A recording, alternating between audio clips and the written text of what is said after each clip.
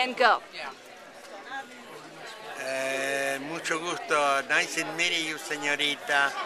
I am Dr. Villalba from Argentina, and my wife Francis as well.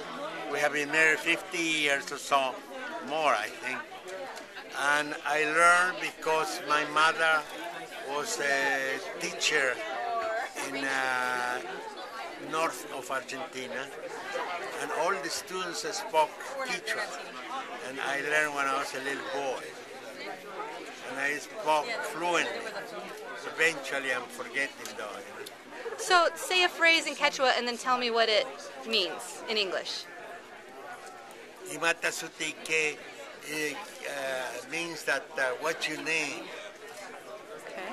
and uh, supa guaranga huachasca is a bad word. Really. Ooh, I won't tell you. You're not going to say you- what it is? Supa guaranga huachasca. So you were just in the film Pachamama. What did you think about it?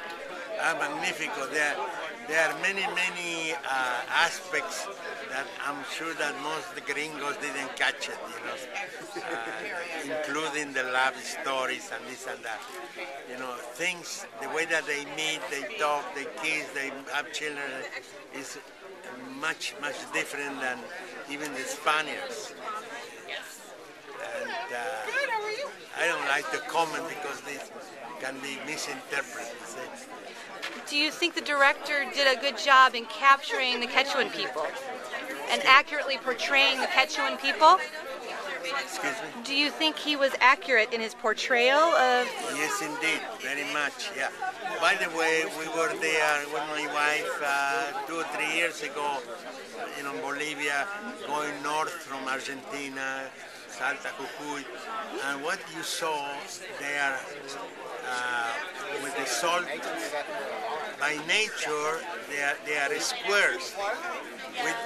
Have no explanation. They are little squares as you see, you know, very, very typical. Yo he visto también, porque yo fui a Salta, Argentina, dos años atrás.